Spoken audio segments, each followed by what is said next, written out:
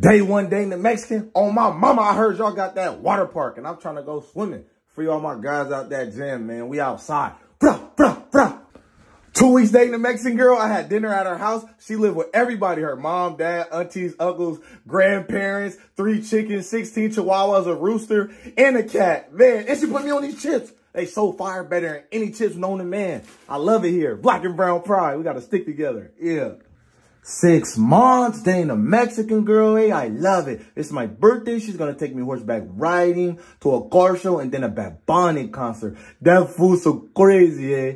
Yo amo a mi novia. Hey, baby, did I say it already?